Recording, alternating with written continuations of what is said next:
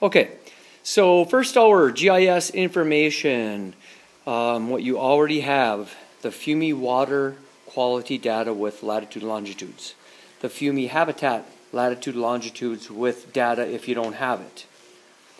Pine Creek 2001 and 13 data if you get to that point today um, as a third project.